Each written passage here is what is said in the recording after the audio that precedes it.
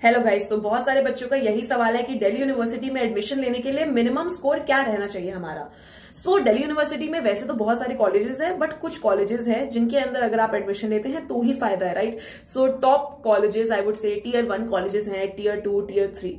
but अच्छे college में admission लेने के लिए डेली यूनिवर्सिटी में सपोज़ आपके स्कोर कार्ड में जो टोटल स्कोर है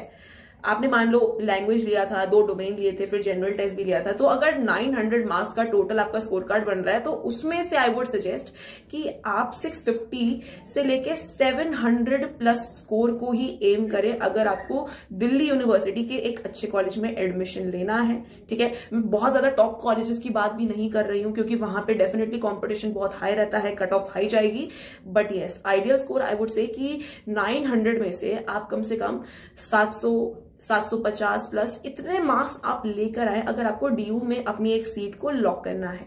So this is the minimum